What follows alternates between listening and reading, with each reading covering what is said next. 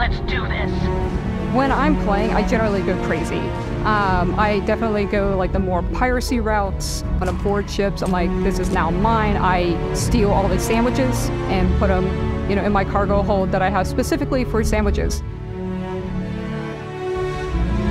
Every spaceport has a ship technician where you can purchase, sell, and modify ships. Anything I can help you with? It's a bit odd, but one of my favorite ways of customizing ships is um, I make them look like sandwiches. The HMS sandwiches, as I called it, where I had a, like a giant sandwich. Sandwiches.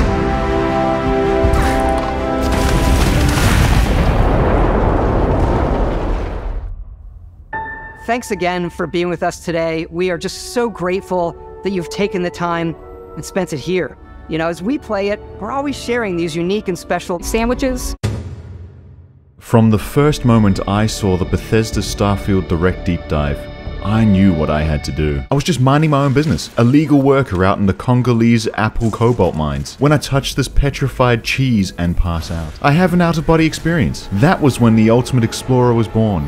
When Mr. Chibbleborble Cheese was born. Upon examination, the medical staff would say, what red eyes you have? Yeah, well, all the better to see cheese with. What big nostrils you have? All the better to smell cheese with. What a yellow mustache you have? Well, actually, there's a scientific explanation for this. The nose isn't just for cheese detection, it's also for cheese absorption. With the rapid expansion of my lungs, I can suck in and absorb cheese through the nostrils, like an elephant's trunk, into my bodily cavity, where I can keep it in storage for later. What you think is a mustache is just a splash shield covered in cheese, designed to keep the mouth free and the air flowing. Hair? Nah, man, my head is completely hairless. This is several layers of halloumi that I keep at arm's length for. For emergencies. You see, my backstory is that I have alien DNA. DNA that has been spliced with a block of cheese. A block of cheese that was specifically on one of Todd Howard's sandwiches. And here I am. Hey! Watch it! What's wrong with you? The amalgamation of cheese and mankind that the lab professors always wanted. That humanity always needed. But which side of me is dominant? The man or the cheese? I walk through the airlock into the space outside. I take in the spectacle of playing a new Bethesda game while a ship lands. I speak to this guy and perish because I've removed my spacesuit. You know, it's not like I'm not going to experiment. Anyways, we fight off some pirates. I, uh, I hope this guy's a pirate. This one guy hides behind a rock, but he cannot hide from these hands. Barrett does the least abnormal thing and gives me the keys to his spaceship so that we can go and fight some pirates for him. And this excites me because he has given me the means to fulfill my destiny and find all the sandwiches and hoard them in just the same way that the Bethesda sandwich dev always dreamed we would. I say goodbye to my mind buddies.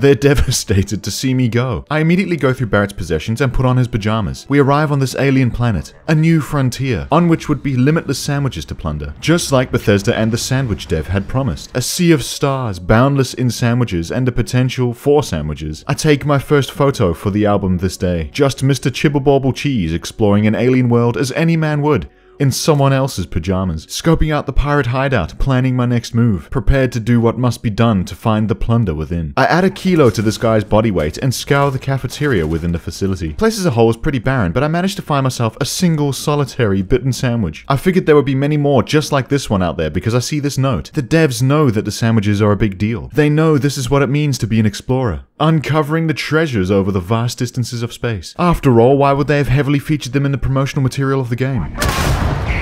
Why feature Sandwich Dev Lady at all? So I press on. This treasure would be mine, and I would find it at all costs. But that was it for the sandwiches in this facility. One bitten sandwich. So I figured I'd make my way somewhere more populated, where I'd have the opportunity to find more. I'm ambushed by some pirates outside, but you see, just as I have alien DNA spliced with a brick of cheese, I too am a boxer of the highest caliber, and so I make short work of them. Unfortunately, I'm not able to travel the cosmos yet until I take the ship back to the starting city to meet the fellows at Constellation. I am immediately floored at how goofy every NPC looks and surprised to discover that everyone here actually makes Mr. Chibbleborble Cheese look ordinary. He looks like he fits right in.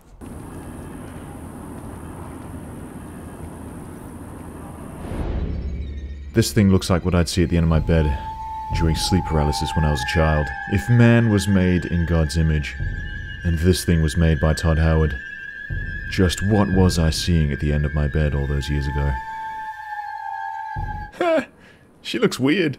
I desperately searched the city for a sandwich, just a morsel of nutrient situated between two slices of bread, but no luck. I searched the vendors.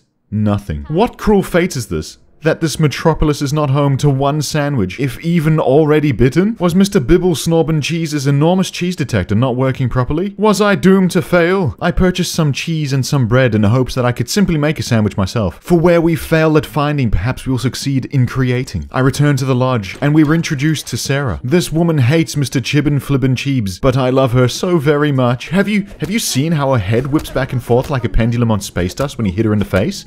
That's mad. I explore the lodge and find no kitchen. I have a look at the cooking station and my heart sinks that there are no sandwiches. But then I gaze upon the grilled cheese. The grilled cheese. Of course. This is a sandwich. It's not the same sandwich, sure, but this is this is what will fill the void while we look for actual sandwiches. For it was only the authentic sandwich that pleased the Bethesda sandwich dev. I have to do some dialogue with Sarah before I'm permitted to travel, so we do just that. Ah! Been a long time since I've been to Mars. And I return to the ship, pick up the bitten sandwich on the table, go to our cargo bay where we'll be storing all of our sandwiches and grilled cheese, and do just that. All of the storage and inventory management got me thinking. I need to travel far and wide and find more authentic wild sandwiches, and I need to save up some money to buy ingredients to make more grilled cheese. So we take Barrett's ship to Mars, where I'm certain the opportunities will come at us hard and fast. I search the bar and restaurant areas, but nothing. I search the vendors, nothing again. I help this woman with a bench press. I proceed to take photos of me helping this woman with her bench press, realizing that maybe Mars hasn't cultivated the wholesome sandwich culture of Earth. Perhaps the Bethesda sandwich dev populated their favorite settlements with sandwiches instead. So I return to New Atlantis on Jemison and have a good look around the cafeterias. Nothing. The vendors. Nothing. Though I did manage to find some more grilled cheese ingredients, so I return to the kitchen to cook. And Sarah follows me here. She has no choice, you see. Todd is bounded to me as long as she wants me to complete her quests. But I will not complete her quests. I have to cook. The grilled cheese calls me. But the question remains, where will I find the sandwiches to please our gracious Bethesda sandwich dev? We've exhausted the main hubs on Mars and Jemison so far. We roll the dice, admire the loading screen of us helping the woman with the bench press on Mars that one time, and land at Neon, a main hub city in the game with plenty of locations to explore and many vendors to sell us sandwiches. The Trade Authority, nothing. The weapons store, probably didn't even need to check, but but nothing. Tranquility, Nothing. Not even the regular merchants have any. I punched the Tranquility Lady in the face. Sarah hates this, but is still happy enough to evade the police with me. What, what a gal. We've only incurred a fine of 650 credits for bashing someone in the face, so that's not really a big deal. So I take to the stars for some questing and exploring of pirate-occupied abandoned space stations. There do not appear to be any sandwiches up here, but we're not only looking for sandwiches, we're also looking to progress Sarah's quest, which happens to be the main quest, because in short, she hates being around me. No way! I am not going to help you murder these I have punched too many innocent people in the face for no reason in my pursuit of sandwiches. This isn't entirely my fault because Bethesda have been very secretive of the sandwich locations and the lack of treasure for the abundance of effort I'm putting forth is really riling me up. But in the spirit of avoiding spoilers, I will not divulge the details of these quests. All, all you need to know is that they're a mechanism by which Mr. Chibbin Flobbin Cheese will be abandoning Sarah at the earliest convenience, so that we may pursue the sandwiches unchained by morality. But for now, you'll have to take my word for it that I search absolutely everywhere I can for these elusive treasures, including traveling to this ship. On board, we are met by a colony of people, blah blah something something, they want to claim the world below. The only issue is the world below is already inhabited by people, and both parties are absolute psychopaths. Like, one of the dialogue options is to try and persuade the colonists on the ship to simply travel to the other side of the planet and settle there. What's the issue? We've been doing this on Earth since forever. For example, the United States and their mortal enemies, Afghanistan, but apparently this isn't good enough for them. Both parties want the entire planet for themselves, and and that and that will be that. I'm tasked with the power to decide what to do in this situation. And of course, the most natural thing Chibble Cheese will do is side with the faction from which he can get the most sandwiches. I search high and low on the colony ship and find one singular bitten sandwich. It's a pretty cagey ordeal. But as with all Bethesda games, we drag the sandwich away from the eyes of its owner, drop it on the floor, and in keeping with galactic food hygiene standards, we pick it up within 5 seconds so that scientifically there are no germs on it. This could have been one bitten sandwich and one unbitten sandwich, but just because this man is holding a sandwich doesn't mean that it exists. You see, the physics in all Bethesda's games are simply modeled on how Todd Howard himself experiences the world, and he has not yet developed object permanence. This enrages Chibble Flibble, and we take it out on Sarah. You can't get rid of me that easily. Hmm. I'm gonna go down. The final score for this colony ship is one bitten sandwich. The odds of surviving on the planet they want to land on is not looking good.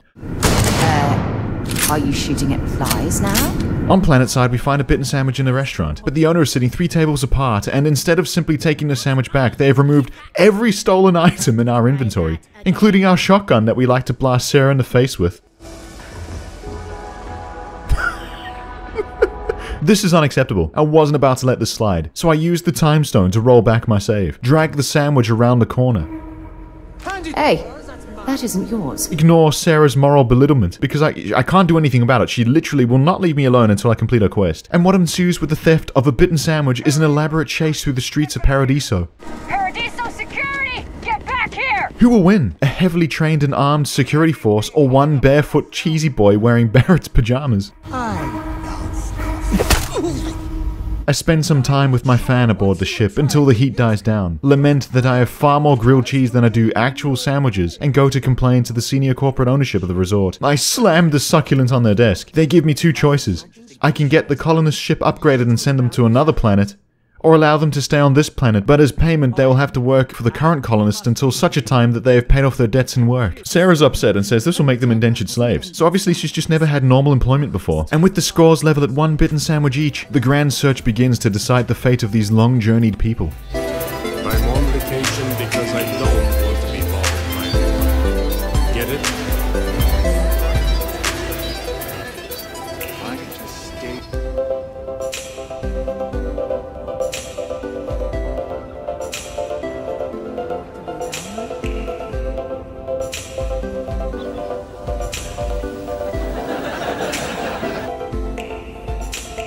I gaze upon the sunset, and it's at this time that I realize I've been going about this all wrong. Not only had my lengthy search of the resorts showed an obvious bias against the settlers on their ship, but I'd exposed myself to some hard truths. There was something I was doing wrong, and I had to go back to research, to compile the evidence laid out before my very eyes. You see, the Bethesda sandwich dev, deity to Mr. Chibbabobble Cheese, claimed that she had found the sandwiches by means of piracy. How could I have been so stupid? How could I have been so blind, so empty to the answers laid out before me? I would need to walk in her footsteps, follow her guiding light. I would need to be a pirate. But the problem with the ship Barrett gave us is it's kind of rubbish. So I'd need an all-new ship. Sadly, we lack the funds to do any such thing as yet, meaning we would need to get a job. Fortunately for us, we've heard about this little place called the Red Mile where we can earn fame and riches. Please tell me you're not going to make us run the Red Mile. Sarah hates it here, but she has no guts and will literally not go away until I hand in her quest. So we bring her along. she has to she has to suck it up. This establishment is lawless and run by a gang, so I try to make a strong first impression by simply executing the man this guards have at gunpoint. No way!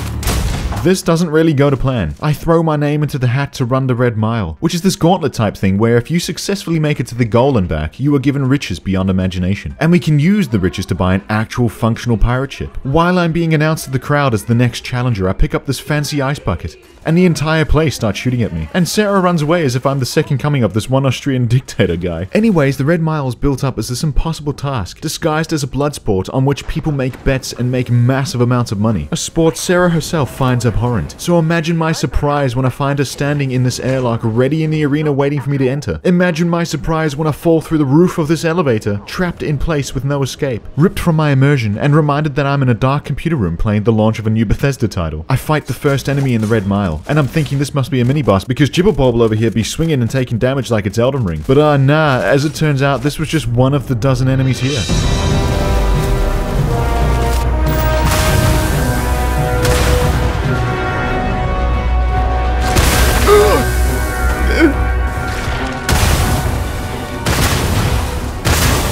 Yeah, easy money, easy. Hey, you want some? Want some? Yeah, take that. Okay, I'm out. See ya.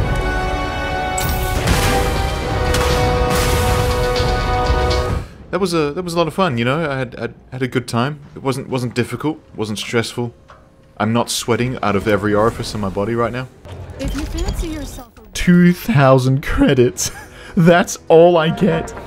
That's fine because I can get gainful employment here in Neon. We witness and ignore the police brutality. Pass the time by taking more photos for the photo album to spice up our loading screens. Visit the police station, where that one guy got police brutality gives us a glowing review for a new job. You see, if we speak to this fella, he wants you to run a narcotic called Aurora. But the only way to get it is to speak to the arrested man's contact who helps you pick up the stuff. Oh, we know exactly who the contact is and where she's employed, and we conclude that we also gain employment there so that we can talk to her. Not to simply find her after work and speak to her there. Oh no, that would be too fucking normal, wouldn't it? But first, Numbnuts over here asks us to go and disappear someone in a warehouse in town. He's expecting us to get this man to leave Neon by persuading him to suicide by nine gunshots to the back of the head. Instead, I persuasion check him to leave peacefully and then whack him on the head while he's not looking. This upsets Sarah again. She hates me now, surely. She she's also the only living being in this warehouse, leading me to believe she actually rats on me to the guards, getting me this huge fine. She hates me so much now that I opt to leave her in an elevator while I enjoy my gainful employment at the drug factory. We're advised that this work is chemically very unsafe and that we have to wear this biohazard suit for our safety.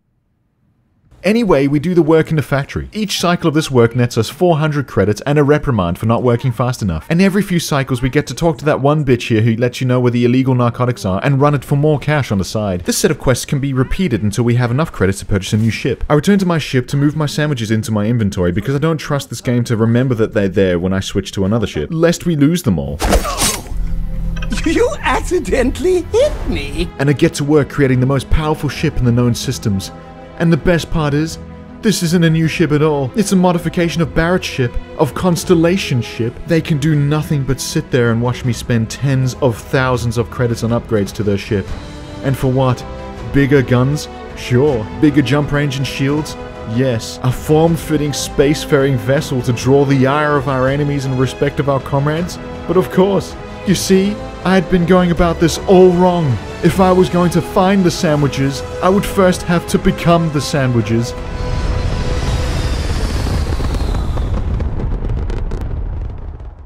I try to tie up some loose ends, such as returning Sarah to Constellation by finishing her quest. But as I sit down in the pilot's seat, she stands over the console in protest, her enormous ass taking up the entirety of my screen. I decorate the cockpit with my loot, sit down in the pilot's seat again, take our sandwich on down to Jemison so that we can drop off Sarah. Mr. Chippendale Cheese contemplates the mysteries of the universe for a moment, and we decide we do not care. Despite hating us, Sarah says she wants us to continue working together. She then wants to give us an award. Welcome to Constellation. Piss off.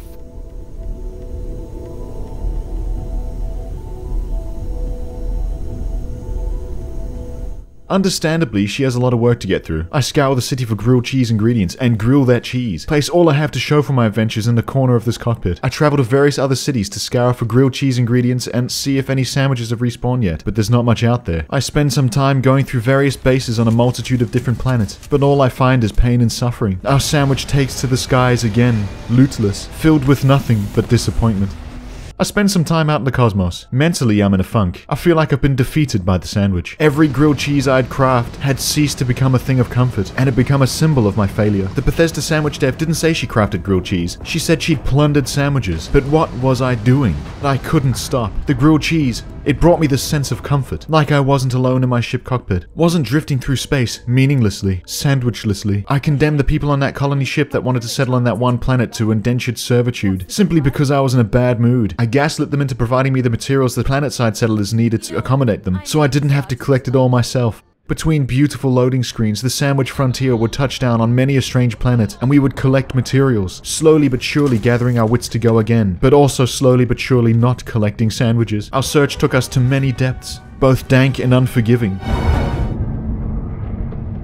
The funk had had us stooping to many lows, such as, but not limited to, committing acts of violence on our one companion who could tolerate our behaviors. Ow! It wasn't until we'd finally sold these people to the megacorps running that one beach resort in Paradiso that it dawned on me how much joy the sandwich ship brought me. Look at them. Look at all these people crawling out of the sandwich. Our great and wondrous sandwich. I make some final modifications to the sandwich, and we take to the stars again. The blanket of shining lights that doth illuminate our way to more sandwiches, hopefully. And yet, the sandwiches were nowhere to be found. I put the game down for a day, and prepared to do some piracy tomorrow. And that's when it happened. I wake up to this message on Discord. My man's found a whole sandwich. He said he won't be telling you where he found it though. What the fuck? Dumbledore said calmly. Update, he now has four of them. Could it be possible? Are there really unbitten sandwiches out there? I respond the most human response. What's dafaku? Ho ho! You come to me in your time of need, seeking information about sandwiches. Are you going to make me Beg. You bet your thick ass I am. I counter with some guilt tripping. If I don't know the secrets in one hour, I will be laughed back into a normal job market. We reach a compromise. Okay, I'll tell you, but under one condition. You have to find this specific plushie. Its name must be Bibble, and it has to sit on the bed for the remainder of your playthrough. These are my terms. Now, this isn't so bad. These are reasonable terms. After all, the plushie couldn't be that hard to find, right? I'd been doing this for many, many hours. I could use any help I could get. I navigate the conversation as any linguistic master would. No. Please comment. No, we don't negotiate with frogs. Eventually the frog relents and tells me to go to the Varlo system, to a science outpost at Shorun. You must be thinking, but best guest, you're going to search a whole moon for a base? That seems unrealistic. Well, I agree, my esteemed viewer, but you see, how Starfield works is when you first find a new planet, it already has some landmarks for you to start with. And if you so choose, you can then explore outwards in that landscape, how you see fit, and discover more out there. Provided you don't run into any invisible walls, of course. I figured if I went to the Volo system and to Shorun, then perhaps there's a predetermined science outpost there. But as it turns out, I find nothing but pain. The game generates random points of interest for you on a per person basis, meaning the science outpost on Frog's Man's game is not necessarily the science outpost in Mr. Flippin' Flop and Cheese's game. Alas, if one Frog's Man is capable of finding four unbitten sandwiches in one science outpost, then surely I can too, right? I put my plans for piracy aside for the moment and explore the very science outpost on the moon. I dispatch pirates with the hatchet I find because I'm immensely masculine. There's a certain charm to carving your own path in the early days of a Bethesda title. You get to experience the title's most vulnerable moments firsthand. Absorb the fever dream of floating computer terminals and disinterested robots for yourself. But despite the charm of it all, I find nothing, but plenty of ingredients for grilled cheese. They bring me joy, but not as much joy as, say, four unbitten sandwiches would. I travel to the next landmark on this dead moon. It is a riveting time. This right here has been sped up for your viewing pleasure. Another science outpost. There are no pirates, but there are also no sandwiches. I look around. There's absolutely nothing.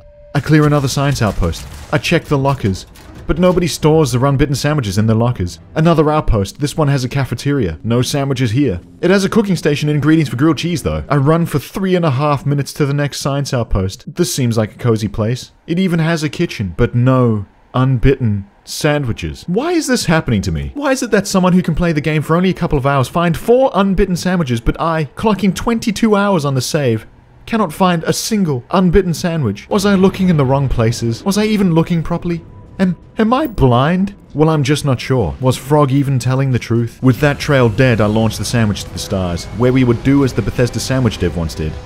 Piracy. Simply blowing up your target would ruin the sandwich, so this doesn't work. You get much more loot if you disable your target with electromagnetic weaponry and then board. And this is what we do. We do as the Bethesda sandwich dev told us to do when that deep dive trailer dropped. I can only imagine the absolute horror one might feel as this weird cheese alien tears its way through their ship, killing everyone on board all your friends, all your family, only to witness with your last breath some muttering about finding sandwiches. Our piracy starts small. Some spacer ships, some derelict ships. We find what we can, and we help ourselves of the spoils. But soon enough, there are those that come to us for help. I had a good feeling about you. We just need a... Oh no. Our moral compass wasn't so much turning from good to bad. We were never good. We were simply a cheese man. We do all sorts of bad things to try and find our sandwiches, breaking and entering being one thing. Oh! Oh shit! and sometimes calmly leading rogue sentient guard robots into public spaces while we flee for our lives. While the general public are handling that, we browse the meals on our table. Dry toast and sausages. This is not a sandwich. This is an abomination. Sometimes I'd make unforgivable mistakes. And I'm not talking about that one time the sandwich ship obliterated a tourist ship, no, no. That time I had merely assumed a ship of tourists would have some sandwiches. I was unable to board them, so I had to destroy them. There couldn't be any witnesses. It's not like my ship was inconspicuous. It's not like there was more than one wanted pirate ship out there to identify that looked like a sandwich. No, the unforgivable mistake I was talking about is that one time I lifted this plate in a public cafeteria, got a fine for it, and arrested. No, no, don't come over here. Ooh! Dude, everything's a jump scare today. What's going on? This is it. This is the crime they catch me red-handed doing. Lifting a plate. I am taken. I am questioned. I refuse to do as they ask. I am released from prison. Yeah, nah, nah, nah, yeah, yeah, nah, rodeo. I go to Mars for some reason. I remember that I'd already looted everything here and then go to make some grilled cheese to make me feel better. At this point, the grilled cheese is like crack cocaine. I need more of it. I need more grilled cheese! I deliriously wander the cosmos in my sandwich ship. I'm defeated in my search for sandwiches. I have no purpose. I have some bitten sandwiches, but no unbitten ones, like the ones featured in the deep dive trailer. I have failed. That is until I arrive at the den in the wolf system. I speak to the bartender.